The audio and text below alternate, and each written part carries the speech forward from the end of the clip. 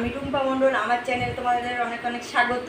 আমি আজকে একটা ইলিশ মাছের রেসিপি নিয়ে চলে এসেছি। সর্ষে, কাঁচা ইলিশ মাছ আষাঢ়ে ইলিশ উঠবে। কাঁচায় সর্ষে ইলিশ গরম ভাতের সঙ্গে খেলে খুব ভালো লাগবে বন্ধুরা। খেয়ে দেখবেন এই কাঁচা সর্ষে ইলিশ, একবার বানিয়ে খেয়ে দেখবেন। এবার রেসিপিটা শুরু করা যাক। মাছটাকে আমি নুন, হলুদ মাখিয়ে আধ ঘণ্টা রাখব। মাছটাকে মাখাচ্ছি। দেখতে থাকো। বন্ধুরা, আগের রবিবারে না আমি একটা ভুল করে ফেলেছি।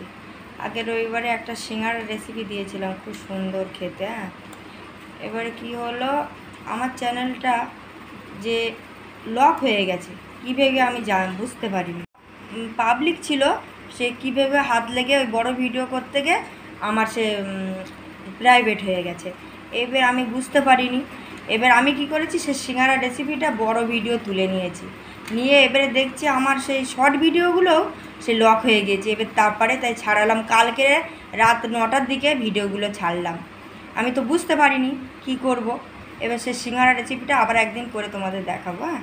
নুন, হলুদ মাখানো কমপ্লিট এবার রেখে দেবো। আমি মাখাবো, দেখো। আদা দিলাম, রসুন বাটা, সব আমি শিলে বেটে নিয়েছি এগুলো।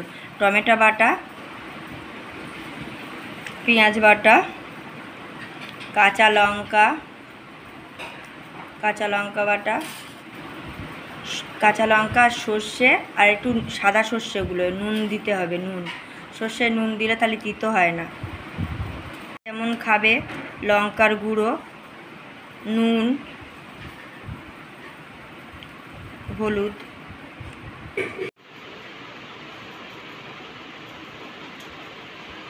তেল দিলাম, দিয়ে ভালো করে মশলাটা মেখে নিতে হবে।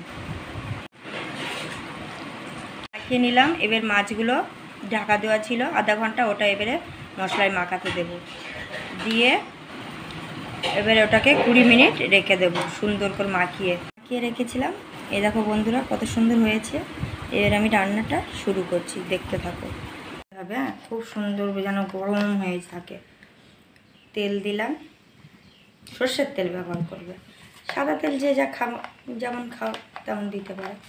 ভালো জিরে দিলাম, কাঁচা লঙ্কা দিলাম। এগুলো এক এক করে দিয়ে দেবো এবারে।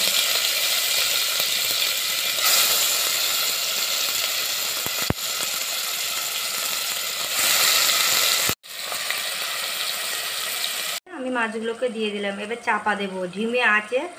পঁয়তাল্লিশ মিনিট পুরো থাকবে। আস্তে আস্তে এপিট ওপিট করে দেবো।